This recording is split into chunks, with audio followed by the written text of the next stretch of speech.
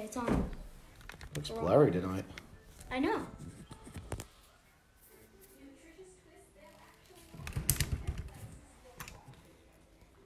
Doesn't look blurry. It looks blurry. Well, it's just my phone might be dirty. It would be the camera that's dirty. Yeah, I know. The, well, it could be the screen too. Or the floor. There you go. Much better. Yep, that's good. What? Five people already? Five people already? What? Yeah, get out there. Do some. Start waving everybody. Come on. Okay. That's. You can see everything. Do the floss. Oh my god, you're a maniac.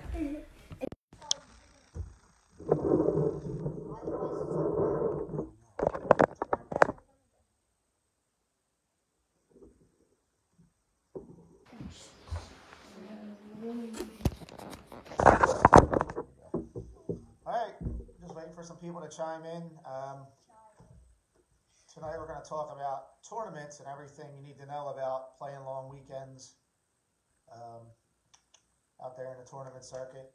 So this is really tonight is for the kids, but parents should listen up and there's other coaches out there watching. Steal some of our secrets that we're going to give out tonight. Um, also today was awesome. Fox 29 News, everybody that watched, texted us, emailed us, Facebooked us. It was cool. Um, it was a lot of fun for me and Jude, so it's, the feedback's been great. Um, We were in the same clothes that we're in today. yeah, thanks, Jude. We're in the same clothes we're in today from this morning at 8 o'clock, but it's been a fun day for sure. Uh, Jude's been very excited. So, we're just going to sit here and wait a couple more minutes. Tonight, if anybody has any questions, uh, comment and ask the questions while we're going. I'll be checking the camera every once in a while to see if there's any questions. Might even hang here for a minute, talk at the beginning. Make sure you let us know who's watching too. Comment in and let us know who's watching. It's okay. It's okay. All right, so we're just waiting for some comments and some, some more of our people to come in and we'll get started in a few minutes. We already have that on the screen. What? Oh, I gotta put the camera on. That's right. No, I didn't put the camera. I didn't put the microphone. Sorry. Might be better. Daniel Mack, is that better? The camera and that mic.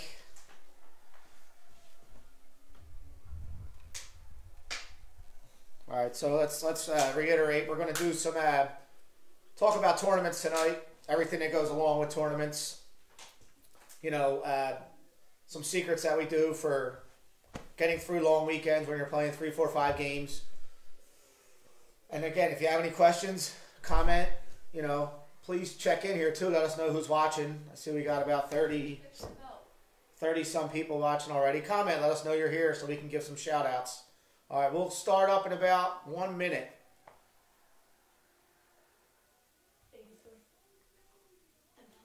Well, say hi. That's our sidekick, Jude. So, Sidekick? yeah. Assistant. Why people aren't commenting? Oh, there we go. Oh, there we go. All right. So here come the comments now. Why is The Nizios are watching. Uh, I see George Conway's watching. Probably his dad too, Michael. Joey B watching. Is the sound getting better? People are saying no sound. Jim Reeves, what's up, buddy? Can you hear it? Why, why is people saying no sound though? Uh, that's probably from earlier. Mike Labacki, world famous painter. Hey, Steve, my buddy Steve McGarry, world famous soccer coach at Holy uh, Family and throughout the um, Philadelphia. Oh, can All right, we we finally hooked up our microphone. All right, Alexander Moritz, our Sounds good to me. our um, trivia expert. We are gonna have a trivia question again tonight. I forgot to say that for more Phillies tickets, believe it or not. So we've already given out four Phillies tickets in some of our videos. We're going to give out two more tonight for a uh, for the trivia question we're going to answer. Again, tonight's going to all be all about tournaments and how we handle tournaments and uh, how we get through a tournament, some tricks. So I'm going to turn the camera around, go out to our main area. Craig Blewett asked, will we still have tournaments? That's a great question, Greg. Did it come through on mine? It didn't come through on mine yet. So we are. I'm going to answer some uh, some some questions for sure about tournaments. I'm going to stay right here right now so I can see some of the questions. So let's get started. So we're talking about tournament baseball right now. A lot of people are nervous and worried that there might not be tournament ball, there might not be baseball at all. I've been staying positive. I've been saying May 1st for the longest time. I think that that's a good date to where we're going to start seeing this thing come down and then maybe we can start to begin to talk about playing again. I'm just talking about baseball. Any other sports that are out there, you know, I feel horrible for these high school kids, these eighth graders for CYO ball. It's it's a mess. It's it's horrible.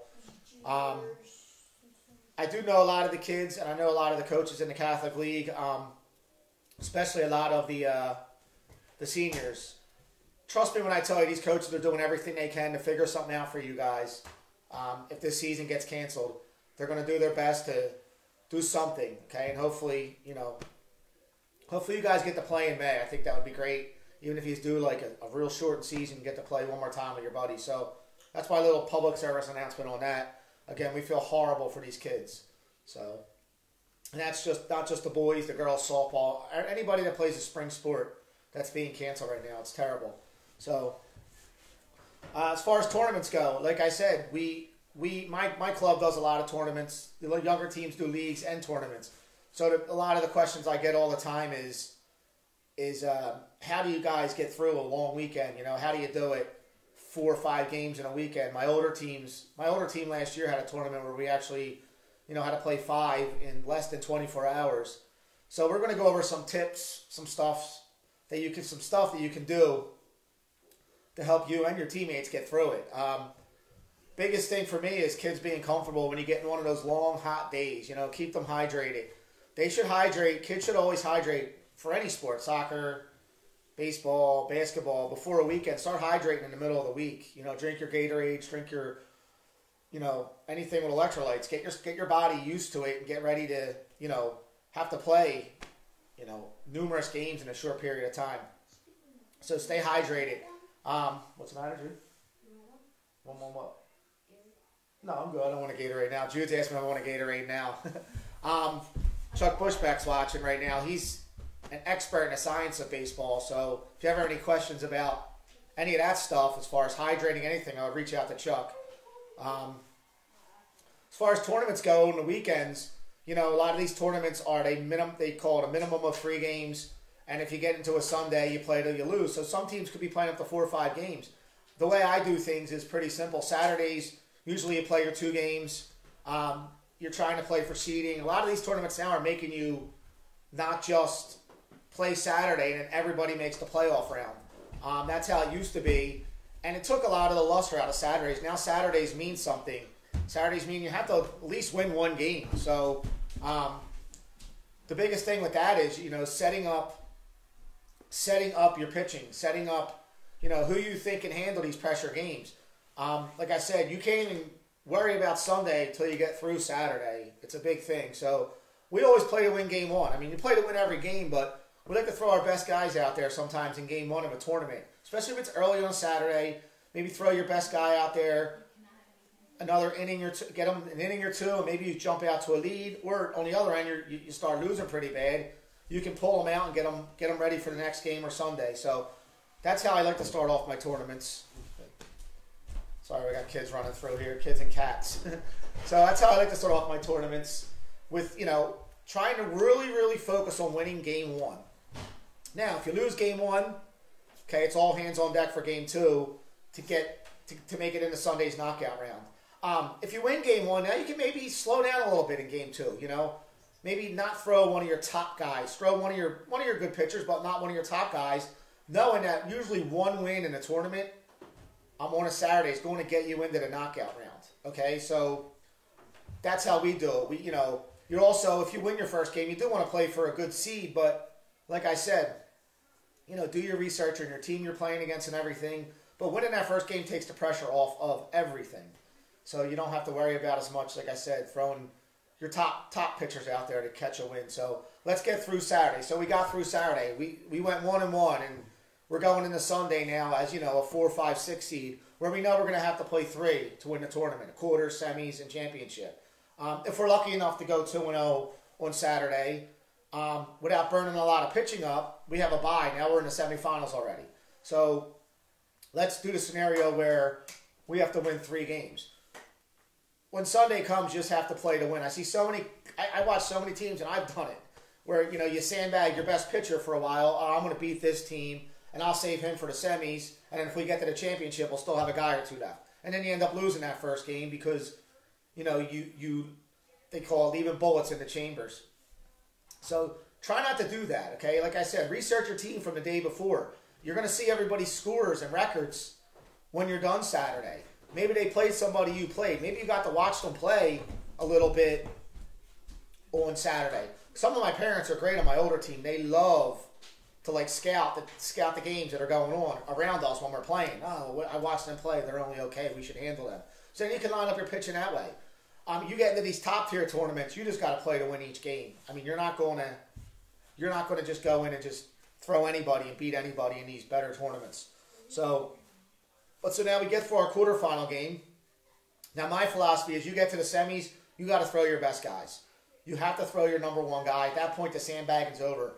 You know, if you get to a championship game, you're going to have somebody left, and everybody's going to be in the same boat as you. Pitching wasted, you know, pitcher's tired, pitcher's hurt, player's hurt. You just play the championship game to play it. Where are you? Everybody okay hearing me? Cannot hear. Okay, that's fine. Yeah, turn your own volume up too. That might help. But uh, so we're in Sun. Now we're in Sunday of a tournament. Like I said, get into that semifinal game and, and and put all hands on deck because, like I said, once you get to a championship game, forget it. Like everybody's in the same boat. You're just playing. It's just a battle. Okay, so do what you can to get to a championship game, and then the rest will take take care of business. If you get to a championship game, it means you're playing well. It means your guys are hitting. It means you know everything's coming together. So don't really worry about pitching as much in a championship game. If you're lucky enough, like some teams, and my teams are close to having this. Some teams have six, seven guys that could be considered number one guys. So, um, I said, I, I, I do believe my older team is at that point now. So, but some teams, again, some teams only have two, three really top tier pitchers, and the rest are the rest are guys who just eat up innings. What's the matter? So that's basically how we run through a tournament. Coaching a tournament on Saturdays, you know, you hear a lot of people talk about running the score up. And listen, in a tournament, it's innings. You know, if you have to play five games win a tournament, that could be 35 innings in less, you know, or if you're a younger team, 30 innings in less than 24 hours. You got a chance to, to you know, put a team out of their misery early and get that 10 run rule and get out of there in three, four innings. It just helps you. It helps your pitching. It helps everything. And any coaches who don't understand that really don't understand how tournaments work. I've been on both ends of it, to be honest with you. I've taken some beatings in tournaments for sure, to where I turn to my assistants. I see he's watching right now, Rich, and I'll say, hey, or my old assistant, J.R. Healy, and say, hey, man, we're just going to take this one on the chin. Let's get back up and, and uh, win game two and then get into Sunday. So it works both ways. If you got a chance to put your foot on the gas and get somebody knocked down three, four innings, do it. And on the other end of it, a good coach can usually feel what's going on. You get down 8, 9, 10, 11, nothing after three, four innings, you know, it's not the worst thing in the world, okay? So if you have a chance, do it. If you're getting it done to you, don't go crazy if you're down 9, 10, 11 runs in game one of a tournament or game two of a tournament or you already won a game, throwing your best guys out there out of spite and you want to show to the other team that we can shut them down even though you're losing, okay? So you have to be smart and level-headed about it. Same with Sundays you get a chance to put a team away, you got to run that score up until, and again, I'm not real big on running the score up in leagues, but in tournaments, you get to that 10, 12 run lead, you know, that's that's that's perfect because, like I said, you can put a team out of their misery in three, four innings, save your guys, rest your guys. Okay, this year's going to be really different because nothing's going to start till middle of May or June, so it's going to be hot. So these kids have to hydrate. They have to stretch and saving innings and keeping kids in the dugout while other teams are playing is a big advantage, whether people want to hear it or not. I mean, I've been in tournaments where my team gets in a semifinal game and we're in extra innings. We're in the 10th, 9th, 10th inning. And the team we're waiting to play just beat somebody 12, 13, nothing, and only played three innings. Who's got the advantage going into that championship game? Okay, so that's a big, big thing. Okay, knowing the scores, staying on top of everything, staying on top of your pitchers. Pitch counts are huge. I always hear guys say, how many innings should I throw my guys? in a tournament. It's not, and me, it's not inning. It's not innings. You got to watch their pitch count over a weekend, okay? These younger kids can turn it off and on a lot easier than the older kids. So, you know, we have numbers that we use, and if people want the numbers, they can text me on the side or email. I'm not going to get into all that, but we have pitch counts we use for each age group. You know, and you got to take into consideration. You'll see me in tournaments a lot of times say, hey, just go out and throw three warm ups this inning instead of seven. Those seven warm ups between innings, they add up. You, if the guy throws four innings, that's 28 extra pitches he threw, plus the 15 or 20 he threw before the game started, plus the game. So you wonder why these kids get tired. So really get them on a tight pitch count and take all that other stuff into consideration between innings, you know, before the game, okay, stuff like that where they're where they're throwing and warming up, okay. So you want to keep these kids fresh and safe is the main thing, okay. So again, if you have any questions about how I do my pitch counts with my guys, you can text me or, or inbox me or message me, okay, and I can kind of break it down for you a little bit, give you a little bit of a heads up. Some cool tips we use for our players. We're, we're on a Sunday and it's hot out. I always tell my guys to bring a change of socks. It sounds so weird, but we've all had blisters on our feet. Blisters are can get caused by you know sweaty feet, running around, rubbing, and all that. So I have my guys. A lot of times I suggest they change socks between games. Such a little thing, but you know it goes a long way. Okay, so bring an extra pair of socks because you never know how long you're going to play. You never know how much they're going to sweat. As they get older, they sweat a lot more. So you know, I always keep, you know, we always try to keep a cooler in the uh, dugout, not beer, with drinks in it. The kids have their own drinks. Um, stuff like that. Um, wet towels for your catcher, wet towels for the players to put around their necks on these hot days. It all helps out. Powder, my guys all try to bring powder for those uncomfortable areas that we're not going to get into um, when they start sweating real bad. Okay? Um, between games, I see this all the time at these facilities with these big fancy um, concession stands. These kids shouldn't be in nachos and cheeseburgers and cheese fries between games. I can't be their parent and tell them what to eat and what not to eat, but you know, think about it. You're gonna you're gonna play a two hour game. You're sweating. You're tired. You're dehydrated. Then you're gonna go. Yes, ham. I see you. Duels. um, then you're gonna go and have to play an hour later, and you're gonna sit there and, and pile down nachos and you know, the, the, the walking tacos and all that other stuff. It, it doesn't work out for you in the end, okay? I've seen a lot of kids break down stomach aches, headaches, stuff like that. Watch what you eat between games. Fruit's great, bananas, um, sandwich, just a regular sandwich, you know. But we're trying to stay away from fried food and stuff like that um, between games. It's very, very, very important. And again, like Danny Flynn here, one of our coaches, is saying, please have drinks for your kids. It's really important. You, you take that for granted. Um, they don't have a bottle of water. They don't have a Gatorade. You know, you need to you know make sure they do because they they get dehydrated. Okay, and these kids drink a lot now, so um, try to have more than one. Okay. Uh, yes, Dan, Uncle Dan, uh, brother-in-law Dan, coaches. We can eat whatever we want, coaches. So, and we do. but I'm talking about the kids. All right. So try to take all this into consideration chicken wings, Matty are not good for you in the middle of a game or between games. No, all that grease. All right, buddy, you should know that.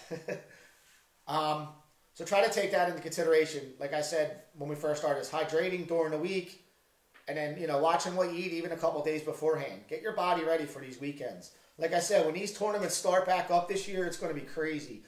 They're going to be crammed in. A lot of teams like to, you know, not the full blown tournament teams.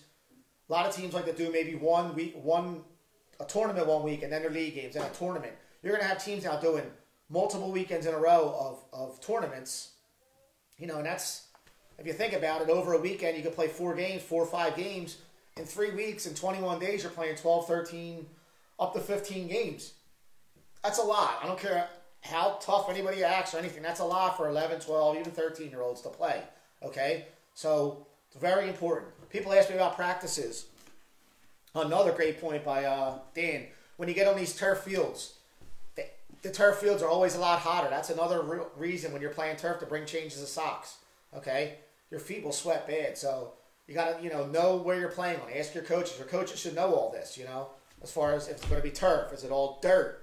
Is it all that stuff? So take all this stuff we're saying right now and use it. It will give you a competitive edge. Trust me when I tell you. Okay.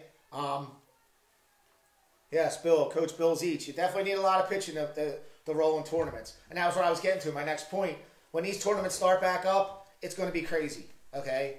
These tournaments do not want to cancel. They are postponing now, giving everybody vouchers. They want you to sign right back up when it when the season gets started. So, like I said, you're looking at lots of tournaments um, to pick from, to play in. So, it's important that you're ready to go. Okay, and like I said, these kids need to know that. That's why we're doing a lot of these videos. Tonight's more talking, but we're trying to keep the kids in shape. We're trying to keep them mechanically sound. They're going to get a lot of innings quickly. Okay, like I said, if we don't start till June 1st, you know, you got about a month and a half of, of or two months of tournaments before you get, get back in the fall ball. So think about that. It's a lot of games. My teams, some of my teams play up to 50 games a season. So now we're going to have to play over, instead of playing 50 games from April to August, we're playing 50 games from June to August. So you, you can see what's going to happen to some of these kids. Injuries are going to happen, so they have to stretch. Kids are going to have to stretch even more now. They should be stretching now, but I see too many kids not stretching. Get out there before a tournament game or any game and stretch, run, get your blood flowing, get everything circulating. Okay. Um, are there any other questions? See some people commenting, some people putting some good uh, advice out there for me. That stuff that I might forget. Yeah.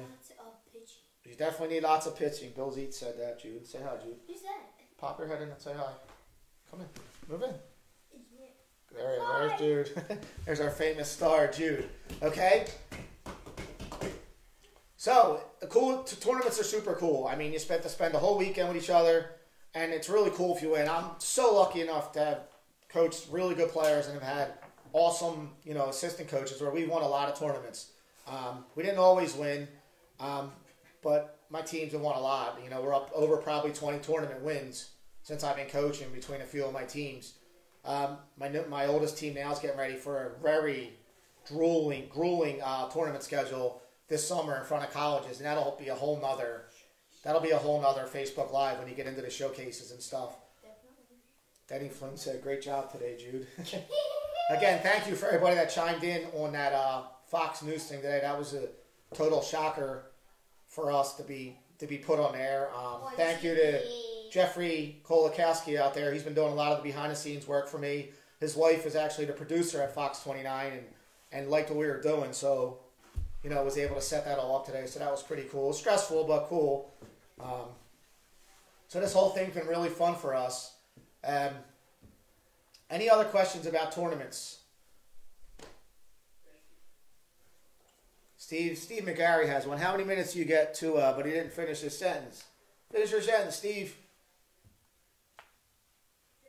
Yes, Sam. I mean, Ham, I see you. We did get first. The Sats did get first. I have to mention that. My Mummers Club got first. Steve McGarry has a question. Our world famous soccer coach from the girls' Holy Family team. How many minutes do you get to the field before a game? That's a good question, Steve. So, if you're the first game of the tournament, obviously you can you know show up an hour early, get yourself a nice full hour. A lot of times in these tournaments, when you're like, you know, as the day's going on, basically the umpires are just going out and changing. So you might only have 15 minutes. So you got to do stuff on this. This is a great question, Steve, by the way. You got to do stuff on the sidelines. You got to know that what, what inning the other game's in. You have to know these things. Okay, they're in the sixth inning. My pitcher better start throwing. I've seen so many teams wait for the game to get over. They walk out, and then the pitcher don't even get warmed up, and he goes right out to the mound. Okay, I think one of our 11 U's have a question. What do you do when you're in a doubleheader? Same thing. I mean, you know, your coaches should line up your pitching when you're in just a normal doubleheader. You know, one of your league doubleheaders, line up your pitching, and you know, play each game to win. And you know, same thing between games. Watch what you eat. You know, stretch out. This, a lot of times they think because they played one game, because they played one game, the second game they don't have to stretch. Well, you have to take them as two separate games. The second game you better stretch. Don't sit on the bench. I see a million kids just and teams just sitting on the bench after the first game, bull crapping around. The one parent comes with the box of pretzels. You don't know what I'm talking about, and they they clown around, and then they're not ready to play. Okay. Um, Coach Ryan from the 11U team said to answer the question, "What do you do in a doubleheader?" He says you win both. Coach Ryan Walter, he's my 11U coach. I want to wish him a happy birthday today. Ryan is 52 years old, been doing baseball very long. He's very passionate. We're so happy to have him with the Royals this year with his first team. So happy 52nd to Coach Ryan out there. Jeff Jeff K, our behind the scenes producer, trying to get kids playing time versus trying to win. Is there an age when it's understood best players on the field? Yeah. Another great question. I mean, look, the way I run my teams is we like to carry 12 guys at these younger ages. Um, I I'm on the end of the fence where I like to play everybody. I don't even have I, I can't remember when I did not start a kid except when the kids get older. Um, one season I made a big mistake on my oldest team that's already away from us. They're all playing in college. They guys, I ended up stockpiling a team one summer with like 15 kids, and and you know I, I some kids that were with me for a while kind of suffered with playing time because I kind of was still young in my coaching career and worried about winning, and we were winning already before I added these quote unquote better players. But these better players didn't fit in with the guys I had from when they were 12, so that season turned into a disaster for me. Um, ironically enough, the next year those kids went away. We went back to our old squad and we started winning again. So, but to answer Jeff's question, it's a really good question. Um, I, I'm a firm believer at the younger ages in playing everybody and batting everybody. Some people will disagree with me. I know you're not really teaching kids stuff that at that age, but you are. You know, you know. Well, what are you teaching a kid by playing everybody? Well, what am I teaching a kid by sitting them on the bench and not getting the reps? That's my argument with people all the time. So other coaches like to bat nine, play nine, and have subs, and I understand that end of it too. As you get older, it, it all works itself out. The kids start to become pitcher only. So when you're carrying 13, you might have only you might have two guys that only pitch. So it's easier, okay, to manage your lineups that way. Uh, Steve McGarry, do you let your team listen to music on the bench? I have no problem with the kids listening to music if it's the right kind of music. I don't like all the I, I don't mind rap music, but I'm not going to have cursing and all that stuff. They can put if it's something that gets them psyched up. I tell them to put their headphones on. Okay, um, but I I love music, so nothing better than having good music before the game. Okay, or at your practice, not during a game. No, we don't allow that during a game. Okay, uh, Brian Dorso. Tell kids how they should dress at a tryout. Kids came to his son's high school tryout with shorts on. Another great question. You go to a tryout, Jude, come here. I'm gonna. Jude's got Jude right now has his baseball pants on, his hat, and his jersey. Okay, that's how you should dress for a tryout. Okay, baseball pants, a hat, a. The, the biggest thing I tell people is a jersey with your name on the back, so the coaches can see you with your name on the back and can kind of take notes on you. Not hey, who's that kid with the long hair, or who's number twenty three? Okay, this is a great question. So We'll have another one about tryouts down the line, maybe next year when tryouts get closer. But yes, please, baseball pants, hats, jersey with your name on the back is your proper attire for any tryout. Okay. Uh, here we go. And then Danny, here's here's another thing we'll touch on real quick. Den, Coach Danny, It is very important to have your kids pay attention on the bench. We talked about this during our hitting video. Pick up tendencies of the other team. Be those eyes for the coach. A lot of your coaching staffs might only have, you know, three coaches. That's six eyes. Maybe out of those six eyes, maybe only two of the eyes are, are experienced. So kids in the game can pick stuff up and let the coach know. Okay, so that's a great, great point by Coach Denny. Uh, coach Mike Labacki from Bensalem. Avoid parent interference. Parents, stay away. Just stay away from your teams in a tournament. There's nothing more embarrassing than getting into an altercation with a parent. Unfortunately, I had that happen with me and a parent, a very level-headed parent. We both lost our cool in front of a bunch of kids, and uh, it was it wasn't the greatest thing to see um, when it happened. And I to this day I feel bad about it. So yeah, parents, stay away from the coaches. Coaches are just as intense as anybody. They want to win more than anybody. So you have to stay away let them do their thing. Question them the next day. We're back at the hotel that night. Okay. All right? Kathy Nizio. Is it bad to chew gum? No, chew gum. I have heard people say, well, they could choke or they're sliding. If kids want to chew gum, they want to chew gum. I can't, you know. I chew gum, chew that big league chew. I think it makes guys look more like ball players. All right. Uh, what if an umpire makes bad calls and kids get mad? Well, that's going to happen every single game. Everybody knows I hate umpires. I'm only kidding. I love all you umps, but Yes, it happened with Jude's 7U team. There's going to be umps that make bad bad calls. You just have to learn to deal with it, especially in a tournament now. You get thrown out of a tournament game nine times out of ten. These rules are now you're suspended for the next tournament game. It happened to us up Penn State last year. One of my uh, one of my top guys, Colin Stockland, you know, emotional, said something to an ump. He didn't mean what he said. It wasn't that bad, but you know, the umps go through these hot days too. They're in their gear. It's probably his third third game of the day. They're you know they get testy also, and the ump threw him out for no reason, in my opinion. We showed up the next day to play on Sunday, the first game, and Colin had to sit it. Okay, so imagine driving four hours to play baseball, and you know you're missing a whole game. Okay. All right. Any other questions before we start wrapping this up? This was a cool question and answer session tonight. It's a lot of good points made by some of my coaching buddies out there. Some of the kids asked questions. Um, again, we're going to keep doing this stuff. Uh, tonight was more, like I said, like a round table almost with just me and Jude and all you guys.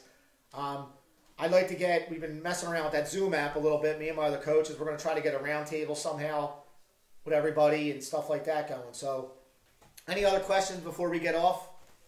I need a trivia question. Uh, hold on, Jude's going to talk to you for a second. Let me go get my trivia answer, okay? Jude, go out there. All right, Jude's going to mess around out there, and I'm going to go get our trivia question. So everybody get ready with their Google. This is for Phillies tickets. Tell all the players get up and dance with Jude. All the players I want to see is getting up and dancing with Jude right now, or we're not answering a trivia question. All right, parents, I want you to send videos to my phone of the kids dancing for the next minute while I go get our trivia question.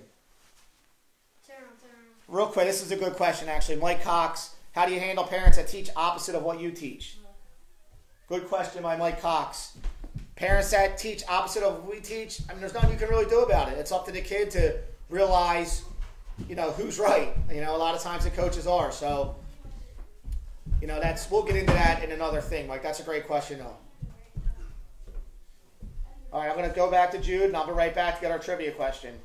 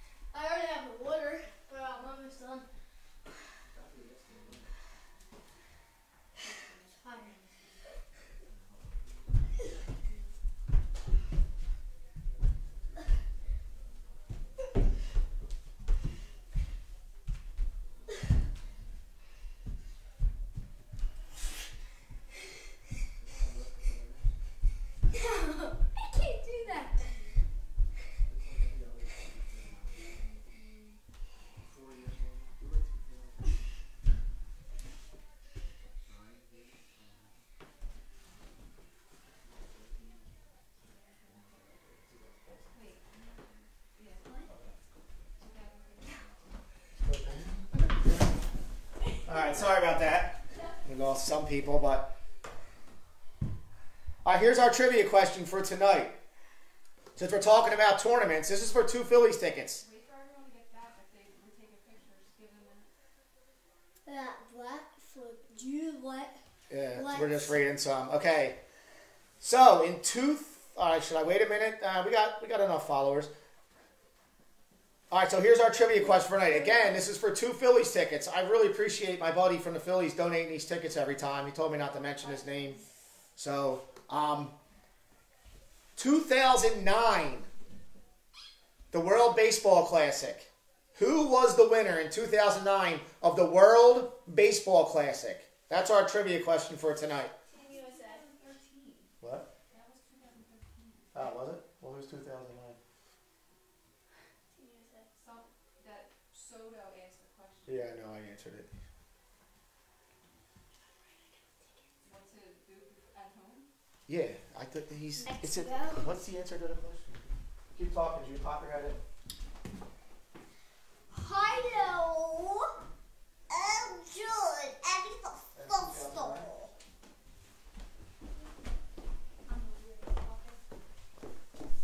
All right, 2009 World Baseball Classic.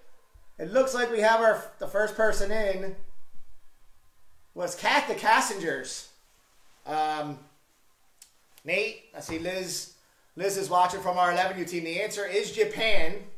So they were the first ones to answer correctly. Everybody got in on this one quick. So sorry for the uh, confusion. All right, so Cassengers, you won two Phillies tickets to an upcoming game whenever that's whenever that's going to be. All right, so tonight was kind of boring. We just talked. I mean, I think we did a, threw a lot of good information out there um, about tournaments, and, and we had some cool questions asked. You know, it seems like everybody's wondering about the in, interaction between parents and stuff like that. So we'll get into that on another one. Okay, so keep an eye out for us. We're going to take a break from doing these for a couple days. Again, everybody who watched today on Fox 29 News, it was awesome. If not, go to my page. The link's up there. It was really cool. All right, everybody wants Jude to do his bat flip, so I'm going to let him do his bat flip before we go. All right, so here's Jude's bat flip. We'll see everybody on the next one. Hold on, Jude. All right, thanks again. Hold on. Hold on. Ahead.